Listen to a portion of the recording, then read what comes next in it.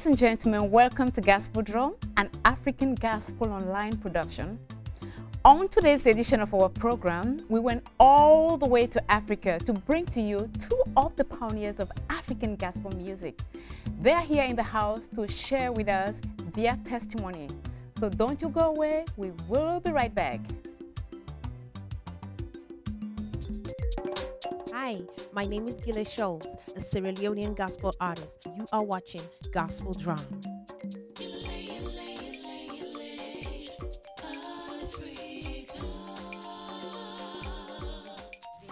I have a joy, the joy of salvation, the joy of deliverance, the joy of salvation. I have a joy, the joy of salvation, the joy of deliverance, joy every day.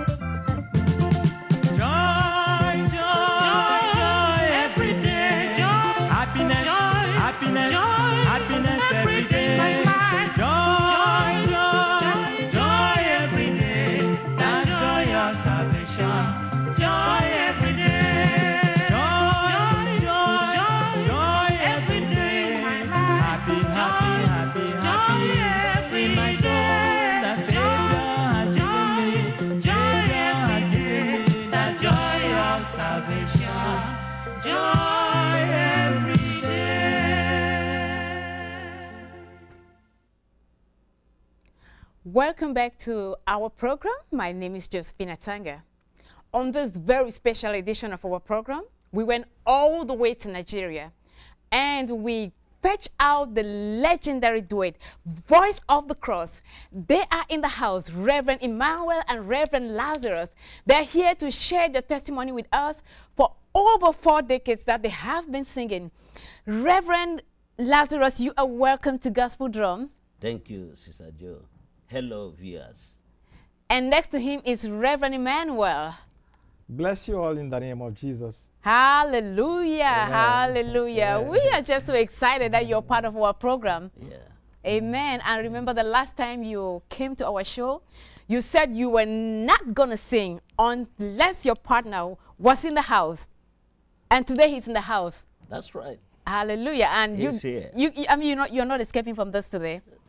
Hallelujah. But we're really, really excited that you're part of Gospel Drum today. Thank you very and like I said, we are going to just have fun and fellowship in the Lord. Wonderful. Amen. Amen. Um, look at um, your name. The title of your duet group is uh, Voice of the Cross. Mm-hmm. Ha, who came up with that name? Okay. Thank you very much. Um, the name is a brainchild of one servant of God, a pastor called Brother Davison or Pastor Davison Dike. Mm-hmm. Yeah. Hallelujah. I love the name Voice of the Cross.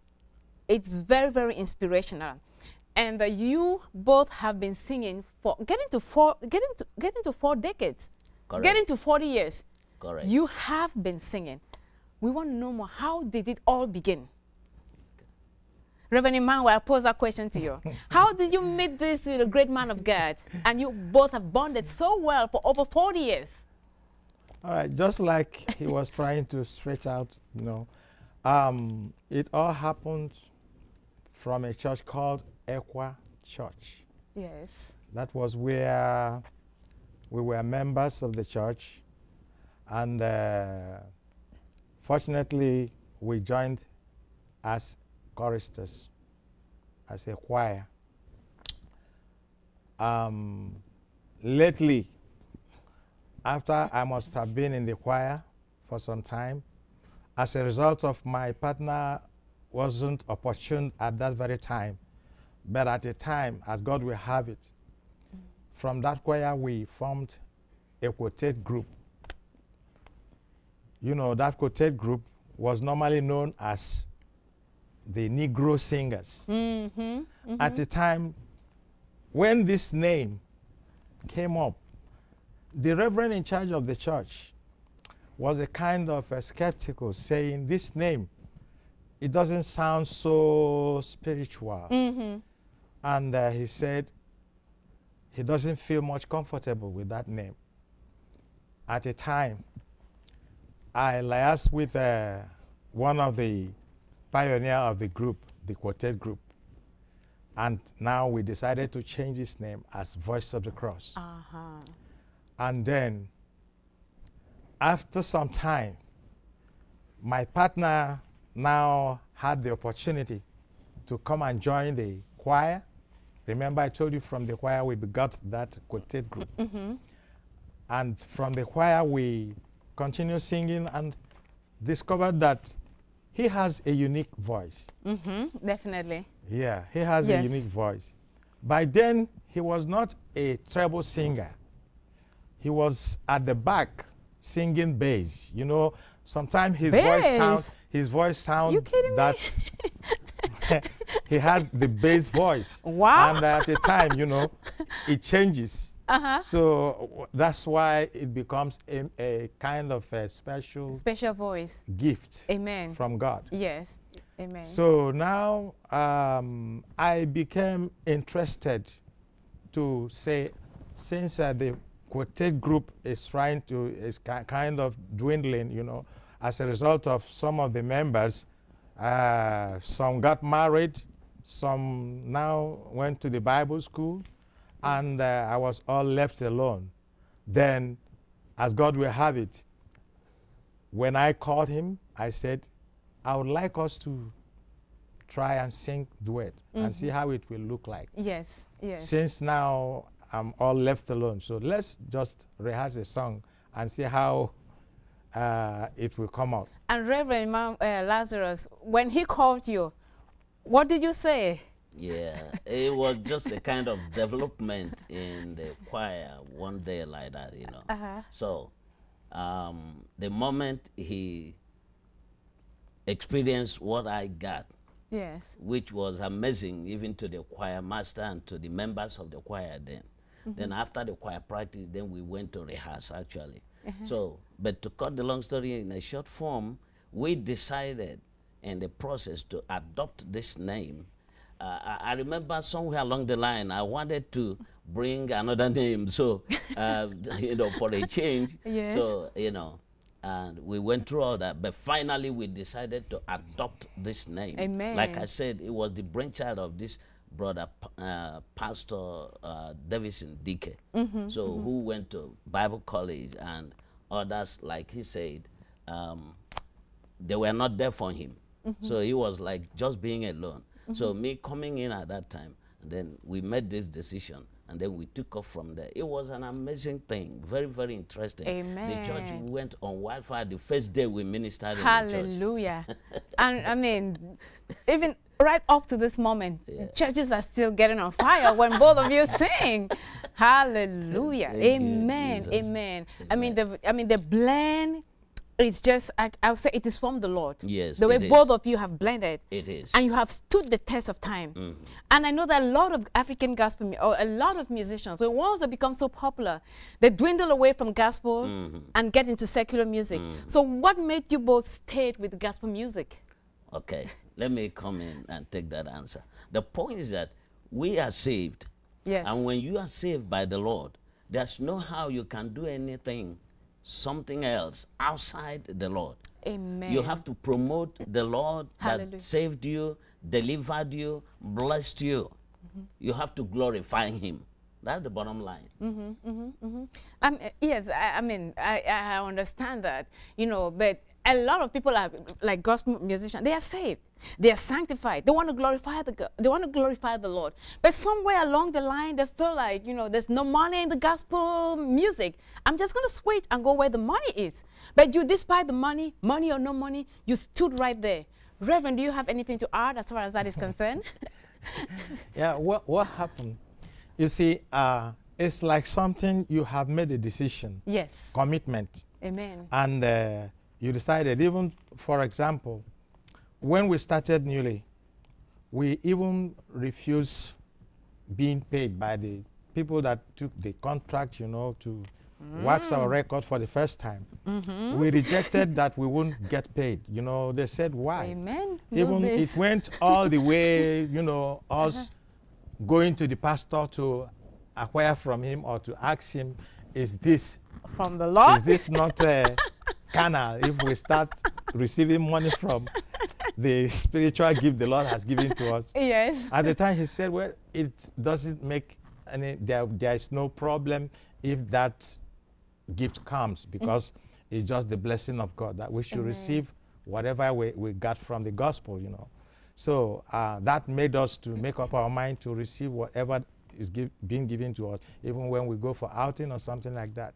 So um, I think it's because we originally know the commitment and the dedication and what it meant to answer the call of God. It's a call. Amen. We see Amen. it as a call. Hallelujah. That's why we have not deviated or really Amen. have anything that will distract our attention as far as the call is concerned. Mm, hallelujah. It's a call. Hallelujah. It's a calling. It's a ministry. And your vision, ha- you've stayed focused in your vision and your ministry. Amen. That's why I say you have stood the test of time. Because too many musicians, especially African gospel musicians or gospel musicians, they have fallen, you know, stayed out, they've gone out of their vision. But I'm really proud of both of you because you've gone through challenges, you've gone through trials, and you're still standing firm. Oh my God, God bless you both. Thank and uh, I'm wondering, what was that moment like, you know, the first day you went to the studio to try to record? Well, um, that's a good experience. Um, it In those amazing. days. Yes, in those days. Yes. The, the, the Spirit of God was with us in the studio. Hmm. And I can remember too well that we went into the studio for the first time. We stood there and rendered 32 songs. Wow. 32 songs that was divided into eight songs per one album. Yeah, the first four albums were made in, uh, you know, eight, eight songs. So, and uh, two were released, and it was amazing. We experienced the power of God in the studio. And even the producer, the, um, the organist himself, though both of them are dead now, they are late now, okay, but of blessed memory. So, they, were- it, it was amazing. The glory of God was there. And so we came out and was like, what did we do? Hmm. There's no other way to define it than to say the, it, it, it was God.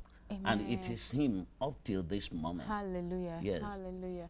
Was there something special that you did before going to the studio? Did you fast for like 40 days or 40 nights? I mean, Yeah, What the made it songs, the- the- The, songs in themselves were inspirational. amen. So you cannot but sing the song Hallelujah. and glorify God. Mm-hmm. Evan- uh, you know, salvation songs, mm-hmm. edifying song, restoration songs, deliverance songs. You know, but whether they were in Igbo or in English, In. English. so you can find anyone, you know, motivating you and encouraging you, putting you on the line, going before the Lord, just mm. listening to those songs. Amen. Amen. And you, I mean, I remember in those days I was so young. I used to just enjoy your music. We would sing it. You know, I, we were so blessed. Voice of the Cross. I mean, it became like a wildfire in Cameroon. Praise God. If you did not listen to Voice of the Cross, means you've not listened to gospel music. All right. And here I am seated, you know, sitting with both of you and talking with you about what happened in those days. To God be the glory. Amen. Hallelujah. Amen. And that anointing is still there. Praise God. What is it that keeps you both going? As a duet. Okay. Um, in fact, uh, I will say when you listen even to the music, you that is singing it, you'll be convinced that this is just from God. Amen. Because uh, I could remember that many people attempted to join us. There has been many attempts to join us, and we even gave that room. But You did? And they at, turned at- it down? At, at the long run, it was all to no avail because Mm. the, the, the, the third party and the fourth party, they couldn't cope up. We were not harmonizing at all. Mm, mm. So, and they themselves witnessed it and said, I better leave these people alone because this is, this is of the Spirit of God. and there's no how they can withstand, you know. They couldn't withstand it. And that is why, you know, since uh, God uh, decided to use us and it blend, we have been moving along without any problem. Amen. yeah, Amen. it's just the making, uh, it's just the making of God. I think you should still try and see if you can, you know, maybe do with some people. You know, things change. but anyhow, we are going to take a little break, and when we come back, we're going to talk about uh, gospel music. Has it deviated from what it used to be 40 years ago? So we will be right back. Don't you go away.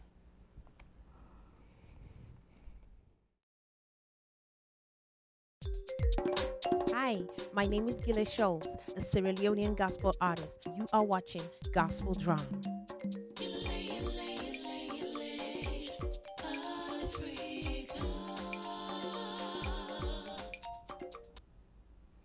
Welcome back to Gospel Drum. In case you're just joining in with me in the studio is the legendary duet, Reverend Lazarus and Reverend Emmanuel from Voice of the Cross. Reverend, let us talk about the African gospel music. Do you think that it has changed from what it used to be when you started singing? Uh, definitely watching the trend of music, um, both in terms of lyrics, style, and in every other aspect, we could see a change. In our evaluation and assessment, one will say, yes, there is a change. But it depends what the change is all about. But the point is that the Bible says that Jesus is the same today, yesterday. um, I take it again. The Bible says Jesus is the same yesterday, today, and forever. Amen. His word never changes. Hallelujah. Jesus never changes. But what changes is our method of carrying the message of God. You're right. So that's right. what has changed. And also, people's motive have changed within the years. So a lot of people get into gospel music now with one motive or the other. So it, it, it is so everybody have to check why you are into mm. gospel music. You have to check your motive. If you are singing because you are saved, because you've been delivered, mm-hmm. because you know you are a child of God and you are going to make heaven. Hallelujah. You are an eternal life candidate. So then you got to stay put in it. Mm-hmm. So, mm-hmm. but if you're just singing just to make the money in it, hmm. or because now, you know, we talk about proliferation. Now, gospel singers are rising. There, some that call themselves new breed and all that. so, but however, it is good that uh-huh, we uh-huh. have people rising up, Yes. you know, taking up. Um, but the point is that there is a footstep, there's a precept, there's a statue, mm-hmm. there's an orderliness, because Yes. God is not author of confusion. Hallelujah. So when that changes affect the word of God, mm-hmm. that's where we will look at it and say, mm, everybody sit back now, back up a little and see, mm-hmm. check Mm-hmm, mm-hmm, mm-hmm. what brought the change. If that change is for promotion or for good or for bad. Thank you. Amen, amen, amen. You know, I'm um, listening to you talk, you know, I am sitting here and I'm wondering, uh, you talked about motive. You talked about uh, reasons why people are singing. I am wondering, you know, we have a look. I'm looking at other traits, you know, in this world. You as a teacher, you go through training. You as a pastor, you go through Bible school. You know, uh, artists, you know, in terms of, I know there are some music school, but most, I would say, most African gospel musicians they don't go through training and they actually don't prepare you for the ministry that you know that is ahead of you you know what do you think you know could be done to help you know the african gospel musicians prepare to face the ministry that is ahead of them after they have you know gone through the studio to produce their their cd Yeah, um, I think uh, the major problem they are facing is uh, they are trying to be competitive. So when one comes up and see what the other person did, he would like to do topple that very person that did the one he did already. By so doing, it's now becoming mechanical. It's no longer there is no longer the spiritual feelings. Yes yes. And uh, the anointing doesn't flow because you want to make your own one of the best. And by making it one of the best now it becomes the worst one spiritually. It doesn't have the background spiritually so i but Reverend, i don't believe that trying to make my work to be one of the best should be a problem. Yeah that, that- what i'm saying is they now lose the spiritual ah okay. aspect of i the whole get you. thing. yes. They make it look so refined, so um, they modernize it Mm. and uh, try to even their lyrics, they try to change their original voice God has given to them and try to, you know, the order tone form, form it like maybe try to be an American. Ah. By so doing, people will now know that you are trying to, is now artificial. You are not trying to be yourself. Mm. So you don't allow the Spirit of God to flow through you, mm-hmm. but mm-hmm. you just want to, as you know, to modernize it. Hmm. It's, there's nothing wrong in modernizing something. Thank you. There's nothing Thank wrong you. in it. Thank you. You see, I like to be myself Amen. Hallelujah. to bring it exactly how. If you call it raw, I don't mind, but as long as the, the, The, Spirit of God, the anointing the power is of there. God is there. I've seen many men of God, you know, God using them to raise the dead, to pull mountain. Mm-hmm. But they are not all that educated. Yes. So sometimes when you now try to make it, let people, the listeners, let them say, oh, this guy, he, he's really an orator. He speaks and Intellectual. then sometimes you don't allow the Spirit of God mm-hmm. to get hold of you or something like that. So mm-hmm. that's where I'm much concerned about. Mm-hmm, mm-hmm. And then the next thing is trying to commercialize it. Okay. Trying to commercialize it. Some people feel like there's a song I will sing now. People may not like it. Hmm. It may not sell. But you can discover that any picture you balance very well to take, sometimes it's always the worst picture. But when you just stay anyhow, just naturally or something like that, mm-hmm. take a picture, it looks good. Mm-hmm. Mm-hmm. But there's nothing wrong in balancing to take a picture. yes, I'm trying to let you know what's going on. So, what I feel is if they will remove having in mind for this record to sell, I want it to sell. But, you know, depend on the message they are trying to pass across, mm. not minding if it will sell or not. And then God will take the glory. And when you lift up the name of God, when you really involve God in the whole business, mm-hmm. God will now speak to the heart of the people that normally listen. And people will be moved to buy it. And the other aspect of blessing you we are expecting from elsewhere, Oh, it will mm, come direct will from come, God. It's God come. that makes that word Hallelujah. Hallelujah. to germinate in the soul of people. Amen. That's it. Amen. Like I, I heard one, one, one uh, pastor who is a musician from Ethiopia. He said, uh, he said once, he said, you know what?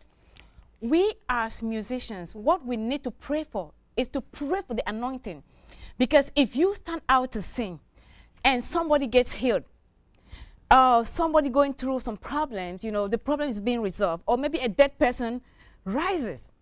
You know, you don't need to ask the people to give you money. Automatically, that person that has been healed will bless you as far as the anointing and the power of God is there. So, like you rightly said, don't worry about the money. You should worry about the power that is in the music that is going out to transform lives. Because when once that life is transformed, obviously, every other thing will be added. Hallelujah. Amen. Reverend, what do you think? Yeah, um, I think what we are trying to hit at is to make sure that we are real, we are not faking, Amen. and the, the, the gospel we preach is not fake. It's real gospel because God is real. Hallelujah. And he doesn't change like a hymn writer said, God doesn't change like changing years. Mm-hmm. all right. So he's still the same and his word is still the same. all mm-hmm. right. Mm-hmm. So be genuine, be original, and be yourself. Be who you are called to be in the Lord and do the things for God. David stayed, you know, he played guitar, he composed songs, and um, he sang, and he also danced. Everything, every move of David was to the glory of God. That even when Saul had problem, then Saul could only get healing when David began to minister in song. So, and um, if I may add something little, the first time we, uh, I and my brother Emmanuel sang in um, Equa conference in the year 1974, 11th mm-hmm. to 14th of uh, April. That year we started in 1974. Hmm. It was on a Saturday like this. So after, it was just like play recording, you know. Uh-huh, we just uh-huh. went and sang. And then the next program was hospital visitation. Mm-hmm. So some of the brethren that had our songs recorded in their cassette went and played it to the nearby hospital. That was exactly Queen Elizabeth Hospital in Umuahia. I think right now it's called um, It's called uh, uh, Federal um, Federal. Medical Center, Medical FMC. Center, All FMC. right. So, but in those days, the name was Queen Elizabeth Specialist Hospital. Yes. Then from Queen Elizabeth Special Hospital to Ramat Special Hospital, and then the recent name is, is there. So,